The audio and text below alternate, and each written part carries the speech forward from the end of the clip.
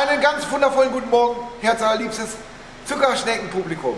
Zunächst erstmal ganz, ganz herzlichen Dank für die ganz, ganz vielen wundervollen positiven Kommentare über unseren letzten beiden Videos der Getriebeölspülung.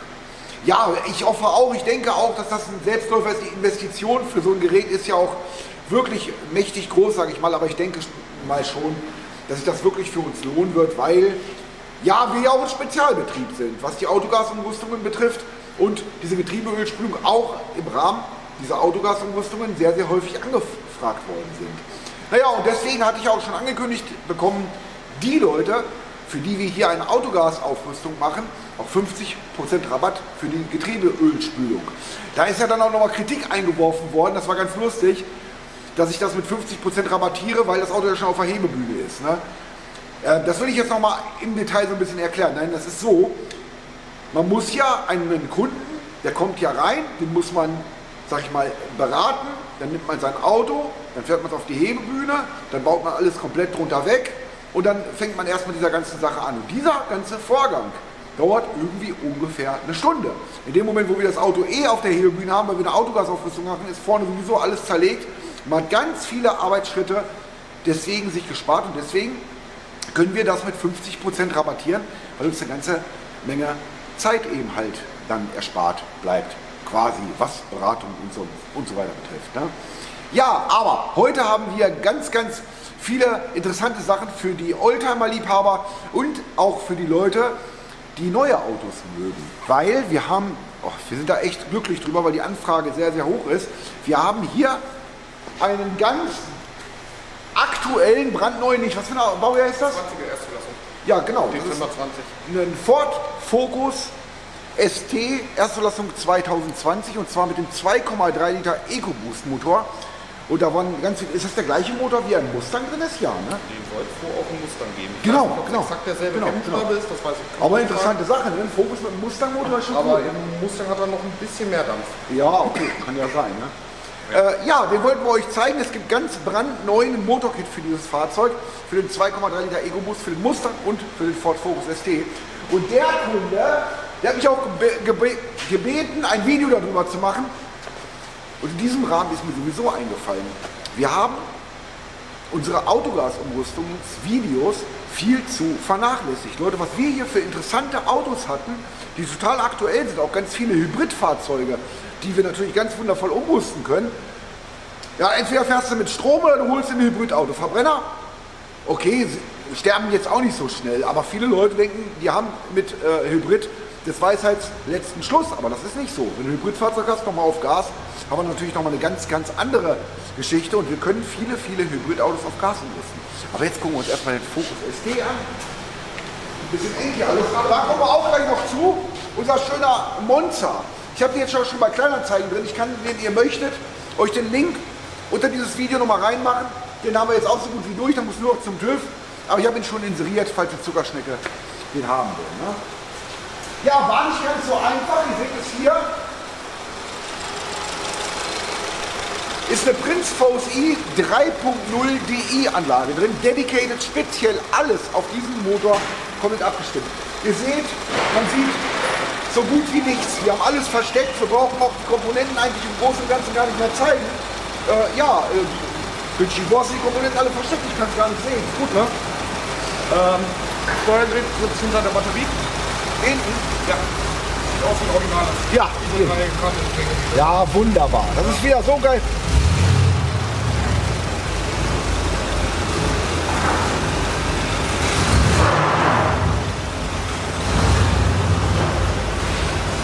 Unser 56er Oldsmobile, da kommen wir auch gleich noch zu. Wir machen aber erstmal Focus ST-Video fertig hier, ne? Ja, okay, ansonsten kannst du nicht sehen. Injektoren hast du Ja, noch drunter. Verdampfer Filter sitzt hier hinten noch an der Spritzwand, das kann man noch erkennen. Genau, wie immer haben wir diesen EVP 500 Verdampfer drin. 500 PS kann der, ihr wisst es ja, Pulsweiten modelliert, also quasi der Systemdruck wird immer über die Software angesteuert und von daher überall keine Probleme, alles gut. Ne?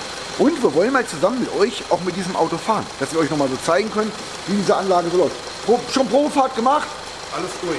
Ja genau, war ein bisschen kompliziert mit der Einbauanleitung alles. Ne? Äh, ja, da ist leider kein Fehler drin. Ja, ja, das, das, das kann passieren. Das ist wie gesagt ein ganz brandneues Motorkit. Und ähm, da sind immer manchmal noch so ein paar kleine Kinderkrankheiten drin. Ne? So eine ähm, Umrüstung für so einen Benzin-Direkteinspritzer ist ja, wie wir schon gesagt haben, nicht Standard. Wir haben bei einem normalen Saugrohreinspritzer, ich habe schon ein paar Mal gesagt, so 30, 40 Parameter, maximal 40 Parameter, die wir selbst auch programmieren können. Das ist eine Universalanlage, die wir einbauen. Wir programmieren alles ab. Auch mit OBD fahren wir schön die Kennfelder ab und gucken, dass wir alles genau auf die Nulllinie eingestellt kriegen. Naja, und das geht eben halt bei diesen ganzen Direktanspritzern, gerade bei diesen Hightech EcoBoost-Geschichten überhaupt nicht. Wir haben ein riesiges Steuergerät, wir haben über 200 Parameter, es sind ganz viele Kennfelder hinterlegt, Simulationskennfelder für Benzindruck, für Ladedruck, für, für Ja, Kraftstoff genau, Hochdruck, Nieder, äh, Ganz genau, die.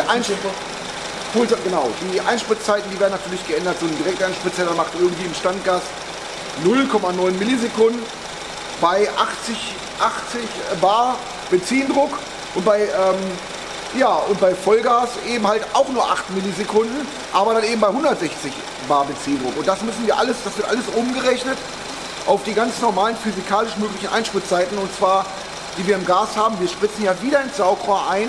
Das macht die Sache ja eben halt auch so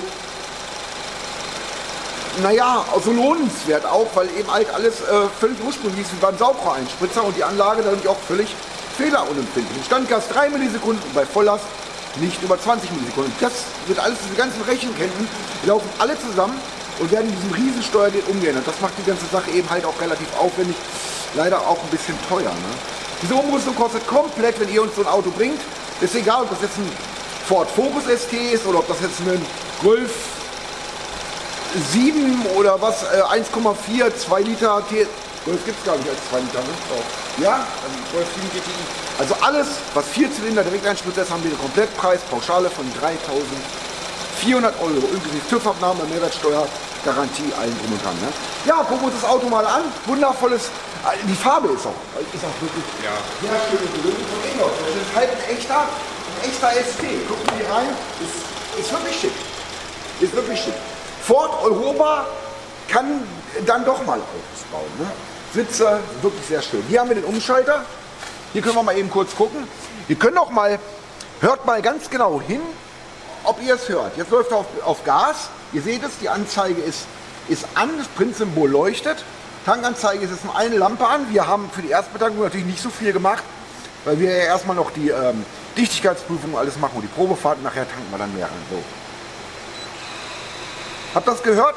Das sind die Benzineinspritzdüsen. Da läuft der auf Benzin, laufen die halt im Direkteinspritzmodus immer so ein bisschen härter. Ne? Und auf Gas läuft er tatsächlich ein bisschen ruhiger und auch ein bisschen leiser. Ich schalte mal wieder auf Gas um. Er geht sequenziell rüber, man merkt das überhaupt nicht. Und jetzt fahren wir mit dem Auto mal eine Runde.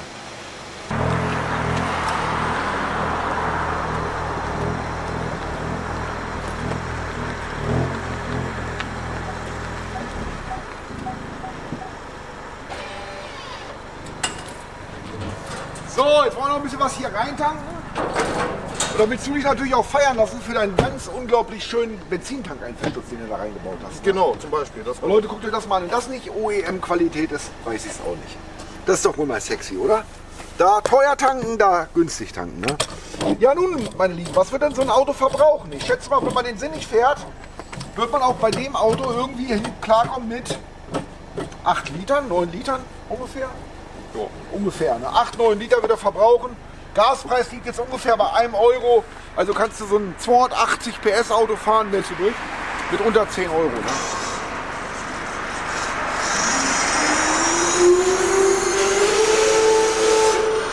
Die macht mal einen Alarm, hä? Gut, ne? Bei minus 10 Grad war ein bisschen Luft in der Pumpe irgendwie. Mach noch mal 10 Liter drauf, das reicht. Da haben wir 30 Liter drin, ist er halb voll. Das ist gut. Dann sehen wir uns gleich im Auto wieder. Ich freue mich. Was natürlich auch dazu gehört, ist, dass wir euch natürlich auch den Tank zeigen von dem Auto. Ne? Ihr seht, das ist so ein bisschen gerümpelt von dem, was der Kunde nachher nicht mehr braucht drin. Und dann geht das hier hoch und hier haben wir unter unseren Radmuldentank. Also, ihr seht, kein Platzverlust. Wie viel Liter hat der Ritchie? 680, 220, 61 Liter. Ja, 61 Liter, da werden so roundabout 50 Liter Gas reingehen. Ich habe es ja gesagt, das Auto wird so um die, sagen wir mal 8 Liter Benzin, Gas mal ein bisschen mehr, sagen wir mal 10 Liter Ss, 500 Kilometer kommt man mit dem Gastank auf jeden Fall. Ne? So, jetzt geht's aber los. Wir haben uns dazu entschlossen, wir nehmen mal den Laptop mit auf dem äh, Beifahrersitz und Zier filmt von hinten. Ich fahre mit dem Auto und Richie erzählt euch mal so ein bisschen was über diese vielen Parameter, die da quasi in dem Gassteuergerät auch verarbeitet werden. Viel Spaß, bis gleich. So, der Fokus ist ganz schön erwachsen geworden, würde ich mal sagen. Ne? Schönes, großes, Super schönes Auto. geräumiges Auto. Guck mal, da ist Ernie. Ja. ja, Dome hat Bert. Genau, genau. Du hast Ernie. Genau. Hier, Wir machen die Software mal auf. Und eins wollte ich euch noch als ganz, ganz wichtige, mega wichtige Information geben. Ob, wenn ihr eine gute Autogasanlage in eurem Auto haben wollt, dann müsst ihr hier Breslauer Straße 63 nach B kommen. Das wisst ihr ja, ne? So, oh, wir haben einen Schalter. Ja. Wie lange habe ich denn keinen Schaltwagen mehr gefahren? Äh, so von losmachen. Nee, ne? geht automatisch. Echt? Ja. Aber warum war das erste Gang?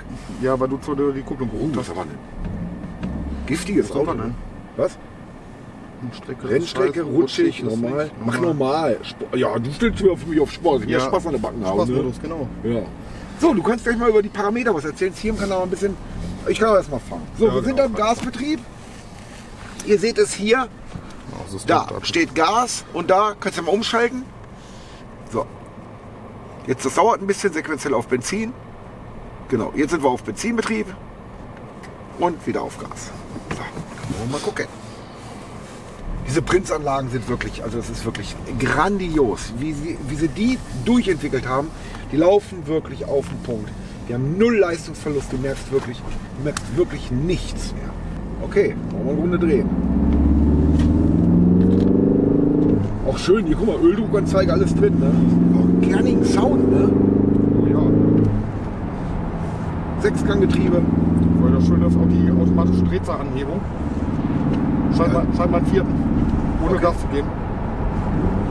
Oh, yo, Zieht sofort die Drehzahl hoch, brauchst du kannst Kupplung direkt springen lassen, ohne dass der Lenkrad bei ist. yo, schön gemacht. Vor allen Dingen was Schönes, Downsizing ist jetzt jetzt mal gar nicht so schlimm, ne? Also so 2,3 Liter Hubraum auf dem Vierzylinder, 280 PS. Ne? 208, satte, satte 280 PS. Und das als Schalter. Und der hat ein sehr, sehr breites Drehmomentband. Also kannst du wirklich von 2000 bis kurz vorm roten Bereich kannst du den durchtreten und der hat wirklich voll Ja, Sattleistung. ja, ja, ja, ja. Ja, und das eben halt auf Autogas. Besser geht es nicht. Ja. Willst du zu den Parametern noch ein bisschen was sagen? Ja, grundsätzlich haben wir ja unsere Grundparameter. Drehzahl, ein bisschen Saugrohrdruck, Benzindruck, was, was für uns halt wichtig ist. Äh, Gaseinspritzzeit äh, im Vergleich zu Benzinspritzzeiten. Ja, das kannst du gleich mal zeigen, weil ich hatte es ja eben Genau. schon so ein bisschen erzählt. Ich weiß nicht, ob es hier mit ähm, rangezoomt kriegst. Ja. Nicht? Benzineinspritzeit rechnet sich natürlich immer nach äh, Motorlast in Verbindung mit Benzindruck, äh, der gemessen wird. Sind wir jetzt gerade aktuell bei 1 1,3, 1,4 Millisekunden. Im Vergleich dazu haben wir 8 bis 9 Millisekunden Gas. Ist jetzt bei relativ wenig Last, wenig Drehzahl auch äh, völlig passabel, äh, weil der Verdampfer, der arbeitet ja ähnlich wie die Benzinmotorpumpe, der setzt ja auch den Druck hoch bei höherer Motorlast und dementsprechend gehen die Benz äh, Gaseinspritzzeiten in Relation auch wieder kürzer. Der macht echt Zwischengas beim Schalten. Wie Ja. cool ist das? Ja, aber nur im Sportmodus. Ach so, Ich habe alles ausprobiert. das stimmt. Du kennst immer irgendwie alles Ja. von den Autos. Dann haben wir hier unsere OBD-Werte, wo wir komplett reingucken können. Unsere, Genau, OBD ist auch angeklemmt am Steuergerät, so kann man die, ja, muss, muss die ja Daten leider- auch. Genau. So haben wir unsere Kurzzeit-Langzeitkorrekturen. Da sehen wir dann wirklich, dass er immer im guten Bereich läuft. So, wir sind auf Gas. Wir sind auf Gas.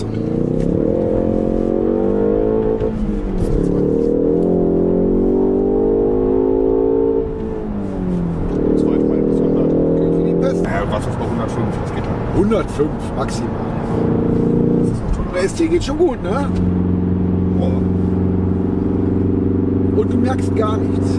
Autogasbetrieb, Benzinbetrieb. Ja, wie gesagt, null Leistungsverlust. Nur eben halt Hälfte an Kosten, obwohl es jetzt gar nicht Hälfte an Kosten mehr sind. Bin ich auch letztens für ganz schwer kritisiert worden. Du hast gesagt, Gas bleibt immer bei der Hälfte, aber es ist ja gar nicht so. Wann habe ich das gesagt? Vor fünf Jahren, wo Ja. äh, Gas 48 Cent war und äh, Benzin 1 Euro oder was dann vielleicht. Und dann habe ich versprochen, dass Gas immer auf der Hälfte bleibt. Na mein Gott, momentan spart man halt nur 80 Cent pro Liter. Damals waren es 50 Cent, heute sparst du 80 Cent. Ne? Also was, wann war es lohnenswert? Ne? Ja. Prima, okay. So, dann, Du hast noch einen sechsten, fahren wir wirtschaftlich, so. ich fahre einen EcoBoost. ein Eco in, in, in den Ford EcoBoost. Alter, mit Lenkradheizung. Das Ding hat alles. Beheizte Recaros, Lenkradheizung, beheizte Windschutzscheibe. Auf Gas. Verstehst du? Ich mache null CO2-Ausstoß, äh Quatsch, null Feinstaub, Ja. 15% weniger Zwei- Aus- CO2-Ausstoß wie Benzin. ja. Besser geht's gar nicht. Und ich habe richtig Dampf. Traum. Das ist wirklich ein wunderschönes Auto. Hört sich gar nicht an. Obwohl ich ja eher Team Automatik bin, aber das, das geht jetzt. Ich bin ja eigentlich normalerweise auch eher Team Ford USA. Ja. Ne? Aber das ist, ist jetzt auch zusammen. Ist ein Mustang-Motor. Aber wir haben auch das Problem, wir können, kommen noch aus der Generation, dass wir diese ganzen alten Escorts kennen, die nach drei Jahren Ja. komplett durchgerostet waren und sowas. Hier, wie der sich anhört, sich runterschaltet. Da musst du noch nicht mal richtig sportlich Auto fahren können. Das macht das Auto auch schon für dich, ne? Genau. Sportlich fahren. Ne? Genau. So, drehen wir hier um und dann sehen wir uns jetzt gleich in der Werkstatt wieder, würde ich sagen. So, meine Lieben, das war's mit unserem Ford Focus ST. Und jetzt gehen wir mal rein. Jetzt haben wir noch so ein paar schöne Oldies für euch. Obwohl gar nicht Oldie. Oldie ist er, obwohl es auch schon. Äh, ein Oldtimer ist fast über 30 Jahre, ja. Ähm, 30 ist er noch nicht, aber wir haben trotzdem ein schönes Liebhaberfahrzeug noch für euch. Und zwar unseren schönen. Nur, du musst ja wieder Ja, einer muss Unseren schönen Ford Mustang 2005 GT V8 4,6 Cabrio. Ja, wie gesagt, ihr, ihr wisst es ja, wir haben ihn schon ganz, ganz lange stehen. Wir haben ihn immer irgendwie in der Nische mal reingebracht, ein bisschen was dran gemacht. Wir haben das Auto neu lackiert, wir haben neue Bremsen drauf gemacht, wir haben neue Reifen drauf gemacht. Wir haben ganz viel Technik an dem Auto durchgearbeitet. Jetzt geht er noch, der kommt aus Kanada. Jetzt geht er noch eben durch den TÜV. Oh ja, und dann äh, könnt ihr den haben, wie gesagt. Ähm, neues Dach müssen wir noch drauf. Äh, nein, neues Dach kommt noch drauf, aber wir machen es nicht, weil irgendwann ist mal Schluss mit Geld reinstecken. Ne? Auto läuft gut, wie gesagt, ich muss für das Auto normalerweise irgendwie so 18.000 Euro Verhandlungsbasis? Ähm, geht es diese Woche durch den TÜV, wer Bock darauf hat. Woche TÜV. Nächste Woche. Ne? Diese Woche ist der gar nicht da. Ähm, ja, wie weit ist es jetzt mit denen? Den, den haben wir jetzt hier sieben Monate auf der Bühne stehen gehabt, weil wir ganz viele Kleinigkeiten noch hatten. Unseren schönen 56er Oldsmobile New Rocket bist du mitgefahren Fahren wir nicht, habt ihr gerade vorhin gesehen. und läuft. Motorlauf ist alles super, Bremse müssen wir noch ein bisschen was gucken, aber das kriegen wir hin. Wollen wir mitfahren? Können wir gerne fahren. Ja, der ist ganz dreckig, ne? Ja. Waschen Und wir will ich aber Automobil nicht. fahren? Ja, hast Bock? Ja. Waschen? Waschen nein. Nein, waschen nicht. Wir fahren jetzt nur mal wieder auf die Straße.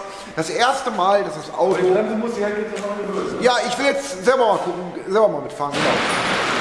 Der geht jetzt auch dann durch den TÜV, der muss noch neue Reifen kriegen und bis so ein Auto, was aus Florida kommt, erstmal hier in Deutschland, alles läuft, alte, alltagstauglich durch den TÜV ist, fließt viel Wasser. Viel Wasser in der Hier, ist das, ne? Was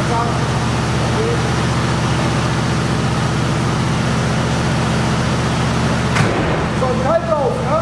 Ein Kaltlauf, ja. Soll ich fahren? Okay, setz du dich hinten rein. Wir fahren. So, jetzt bin ich ja echt mal gespannt. Ich habe dieses Auto ja schon irgendwie, so schnell runterfahren. irgendwie drei Jahre und wir sind noch gar nicht mitgefahren. Noch gar nicht. Schon ich weiß nur, dass er in einem absoluten, ja du bist jetzt eben gerade noch ein bisschen gefahren, in einem absoluten Wahnsinnstraumzustand ist. Das Auto ist halt von 1956 und wie gesagt, er ist in Los Angeles gebaut 1956 und nur in Florida gefahren. Der sieht von, von unten und alles sieht er wirklich aus wie aus dem Laden, wie neu. Nichts dran. So ein Auto bekommt man in dem Zustand nicht. Schau mal kurz Halle zu, weil. Ja, ja, mach ruhig zu. Genau. Wie gesagt, wir haben ihn neu lackiert, weil er hatte außen so ein paar ganz, ganz kleine, paar ganz kleine Macken, ein paar ganz kleine Stellen, was sich aber im Smart Repair nicht gelohnt hat. haben wir gesagt, komm, wir lackieren ihn einmal komplett ganz über. Und ja, ich bin mal gespannt, wie er jetzt läuft. Kondome, Kondome. Auch von innen ist er sehr, sehr schön. So ein paar Kleinigkeiten wollen wir noch machen hier mit der Türverkleidung und so. Ansonsten Himmel, alles richtig schön. Das ist einfach ein traumhaftes Auto. Muss den Gasschluss geben, so geht er aus. Ja, ich bin auch schon auf. Genau, jetzt noch kalt.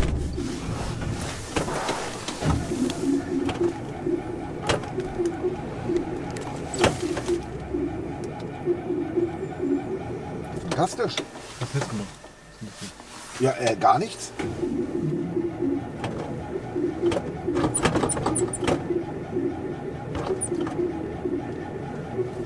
Wir gefahren alles. Alles super. Ja, siehst du ja. Vorführeffekten auf dem Video.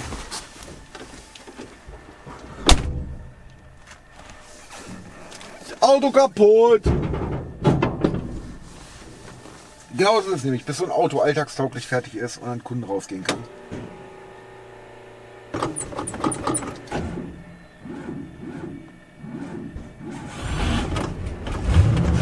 Komm rein, läuft! Wir haben natürlich jetzt auch minus 10 Grad ne, für so ein Vergaserauto. ich nehme mal Rundenheiler mit. Ja, genau.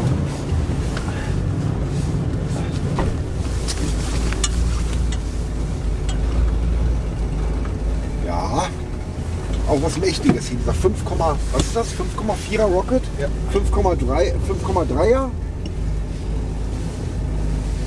Dass wir hier rauskommen. Die sind sogar eingestellt. ne? Scheiße eingestellt, die Spiegel. Anschneiden brauchen wir uns nicht. Das war 1956 irgendwie noch nicht so richtig modern.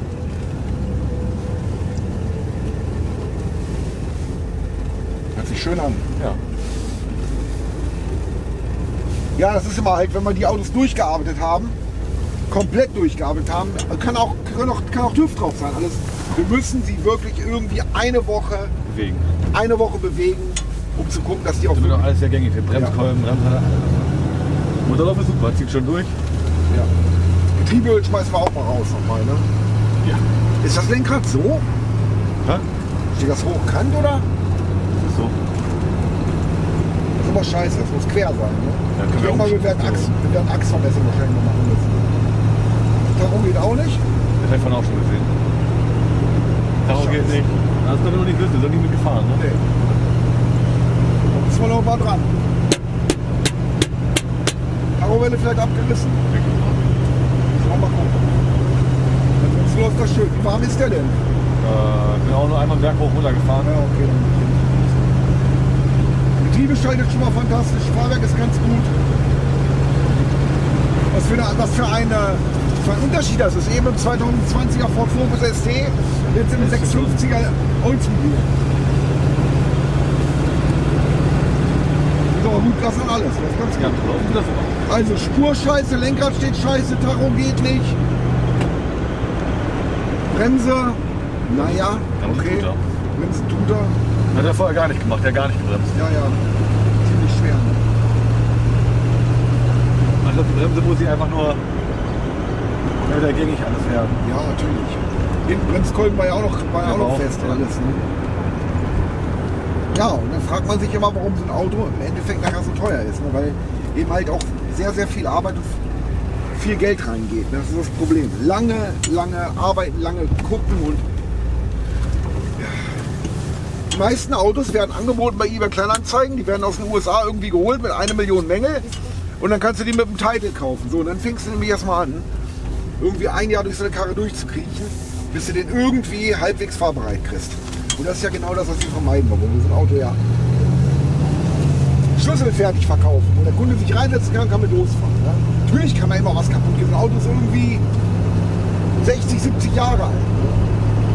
Aber deswegen nehmen wir euch mit hier bei der ersten Probefahrt. Und ihr seht auch, was alles noch so, passieren kann. Ja, wer Interesse hat hier an dem, ne, wenn er fertig ist, glaube ich, muss irgendwie 35 oder so für das Auto haben. Unter dem kann ich auch nicht weggehen, weil er wirklich im absolut grandiosen Zustand ist. Also wirklich. Das ist gerade so komisch steht, ne? Ja, das können wir ja umstecken, das fahren glaube ich runter. Ja, wir müssen hier die komplette Achsvermessung mal machen. Jeder links, rechts gemacht. Oder vorne dieses riesige Flugzeug drauf. Ne? Ja, er zieht gleich. Nö, eigentlich fährt er relativ gerade. Können wir mal Lenkrad umstecken. So, da. Ja, das war gut. Ich meine, Just hat das auch runter gehabt. Ja? Ja. Wofür? Um den Bremserverstärker auszubauen. Ach, das kann natürlich sein. Ja. Hupe geht auch nicht. Alles gehen wir zum Griff fahren. Hilft ja nichts. Ja, bremsen geht eigentlich. Ja. Das an dem gut. Ja, was ist jetzt? Jetzt können wir noch, noch, jetzt können wir noch ein bisschen Monster zeigen eben, ne? Ja. Sonst ist aber nächste Woche TÜV, der ärgert mich gerade mit Thermostat kaputt. Ach so, stimmt. Ja, ja. Deswegen ist ja auch der, der Kalt geht aus Da sind wir jetzt auch schon irgendwie drei Wochen bei den Vergaser einzustellen. Also immer so zwischendurch. Hier mal eine Stunde, da mal eine Stunde. Und einer noch reingeschrieben. Der Vergaser bei dem Monster Solex, wie heißt der? Äh, 4-1A. Ja genau, das ist eine richtige Wenn Zicke. mal 1A laufen würde, weißt du? Ja, ja, ist eine richtige, ist eine richtige Diva und das ist er auch. Aber wir haben eine langsam im Griff, ne? Gut, dann äh, Lass einmal draußen stehen. ich lasse draußen stehen, genau. Läuft da jetzt ein Stand? Läuft nur ein bisschen hoch. Ja, das kann ja wieder runterstellen, aber lass einmal ein bisschen laufen. Hier und da ein bisschen kleinarbeiten, genau. Wollen wir uns das Ding mal angucken, so ein bisschen in der Sonne, ne? Ähm, wie gesagt, wir haben ihn neu lackiert, also, aber es ist auch pottendreckig. ne? Warum sind die Radkappen nicht drauf? Weil wir die Reifen runter haben. Und weil wir nochmal zehnmal runter haben müssen, dass die nicht beschädigt werden. Ach so, okay, okay, das sind die Originalradkappen. Ne? Original. Aber es ist wirklich, äh, wirklich alle verchromt. Wenn da eine Macke drin ist beim runter, nur wegen Reifen drauf runter. ja, ja, Das macht keinen Sinn. unglaublich schönes Auto in einem grandiosen Zustand. Ne? Wie gesagt, wer Interesse daran hat, sowas gibt es eigentlich gar nicht, im Großen und Ganzen nur im Nagelstudio. Ne? Ja, aber heute zu dem Monster noch mal eben schnell gehen. Monster sind wir, wie gesagt, auch eigentlich relativ so weit durch. Hier geht's auch durch die Tür. von Also der. Vollgas geht wieder, Teillast geht wieder. Viele, viele Autos zum Verkauf. Ich habe bei Kleinanzeigen jetzt drin den W123, das ist ein 280er, da aus in, im Wahnsinnszustand. Dann haben wir den ähm, genau Lincoln Continental drin.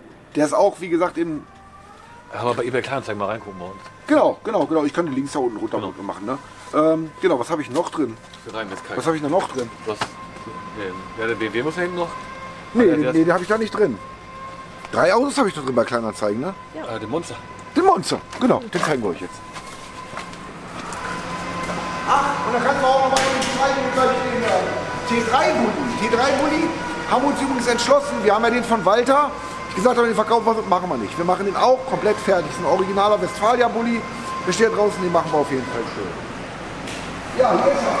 Der wunderschöne Monster. Die ähm, Kleinanzeigen, die Anzeigen bei Kleinanzeigen hänge ich mit unter dieses Video, wenn ich dir angucken will. Ja, soweit läuft alles. Das ist immer, wie gesagt, man sieht doch, dass der Original das 70.000 gelaufen hat. Man sieht's nicht. Hier war alles ziemlich fest. Ne? Die ganzen Klappen waren ziemlich schwergängig. Jetzt haben wir eine einigermaßen am Laufen. Einigermaßen am Laufen und Standkasten. Ja, Standgas ist ein bisschen, ne? Aber es ist nur, was Thermostat kaputt ist wahrscheinlich und der immer wieder in den Kalkstadt rein läuft, dann haut mir den Drehter wieder hoch. Genau. Thermos Kühlwasser, Thermostat aber bestellt. Ist ja immer, habe ich überall schon mal ein eigenes Video zu gemacht. Wir dann unten drin, ist immer nach ein paar Jahren kaputt. Ne? Ja, dann gehen wir nochmal. Ja, Gibt es noch was zu sagen zum Auto? Geht Das ist wie gesagt bei Kleinanzeigen drin, ist ein Jahreswagenzustand das Ding.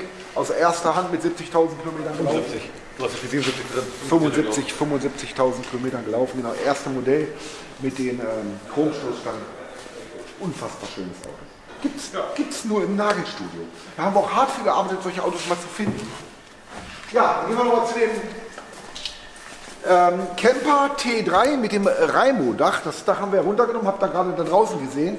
Da ist auch unser Nico, schon ganz lange bei, ne? Ja, Wie weit bist du? erste Seite Man kommt Lack drauf. kommt heute in Füller. Muss man erstmal gerade kriegen, das Auto. Ja, ja. Gerade wo es jetzt so kaputt war. Ja, die Tür hatte irgendwie einen, einen, Streifschaden, so leichten. ne? Ja, da muss er irgendwie Das gegengefahren sieht sein dann hat sich das Ja. ins Seitenteil Ja, gezogen. ja, ja, ja, ja. Mal gut, dass wir hier unseren breiten Schleifer haben, ne? Hier dieses, Ja, dieses Monster-Ding hier. Ja, das ist natürlich, ohne, ohne den 40 cm Schleifer brauchst du nichts machen. Dann kriegst du solche Flächen eigentlich fast überhaupt nicht gerade. Ne? Ja, die Seite hast du schon bald durch. Ne? Ja. Genau, das Auto ist interessant, weil wie gesagt, ist ja ein T3 mit einem Reimo-Hochdach und einer wundervollen Campingausstattung drin. Und das ist ein Endmodell, 89er äh, Wasserboxer Automatik. Und das ist, wird auch für euch noch interessant, weil da werden wir den Motor komplett zerlegen und ähm, neue Kolbenringe, neu durchruhen, komplett neu abdichten, zusammenbauen, einbauen, laufen lassen.